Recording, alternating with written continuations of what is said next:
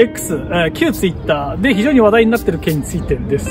レースの着物を着せたら怒られたっていう話です。えー、街歩き着物なんかをうちの方でもレンタルしています。えー、そしてレースの着物ももちろんありますし、レースの振袖っていうのもあります。はい。ファッションとしてね、楽しむ、気軽にカジュアル着物として楽しむ要素ということでレースの着物が非常に流行ってるような次第ですが、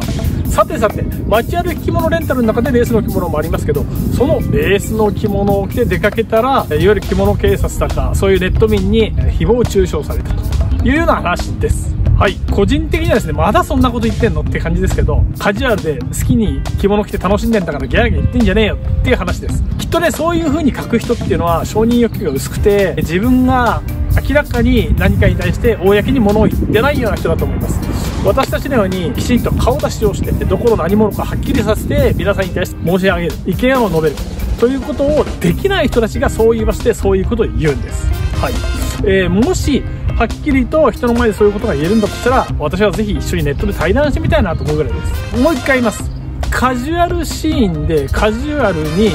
どういう風に着物を着ようがその人の自由でしょう。ギャーギャー言う必要ないよね。という話です。で、例えばです。ボロボロに破けたジーンズに下着が見えそうな T シャツでなおかつオーガンジーみたいなセミの羽のようなですねアウターを着て非常にこう露出度の高い服装の人がいたとします。その人がネットで写真上げられてこいつおかしいぞなとなんやかんやって言われるかっていう話です。好きでやってんだから邪魔すんなよっても思うしカジュアルでやってんだからどうでもいいじゃんっていう話です。もしもこれが結婚式でそれだとしたらう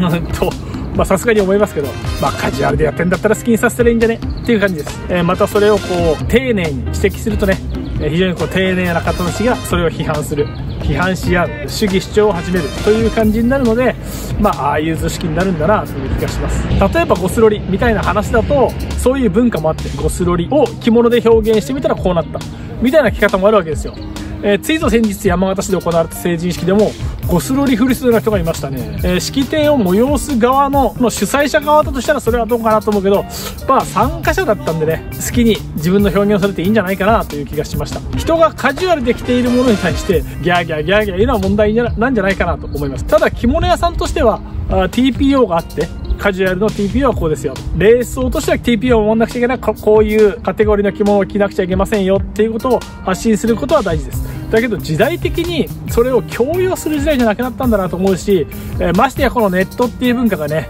えー、人の顔の見えない場所でなんやかんや言うっていうことが横行している中、うん、ほんとね、いただけないなと思う現象が非常に多く散見します。まあ、今回のね、このレース着物でうんぬんかんぬんってのもそれだなという気がしています。もう平たい話ね、言いたいやつにはもう言わせておきましょうって話です。はい。ただでさえ着物を着る人が少なくなってるこの時代。ね、えー、着物を着る方、大変貴重です。そんな方が、ちょっとでも増えるように、私はいろんなことをやってますし、いろんな発信をしてるつもりです。はい、えー、この発信を見てですね、あ、そうだね、着物の姿増やしたいねと思った方はぜひ、グッドボタンとコメントお願いします。はい、こちら屋敷物チャンネル、着物を着る前、着るとき着た後を包括的にお手伝いするお役立ちチャンネルです。気兼ねせず、たくさん着物を着てください。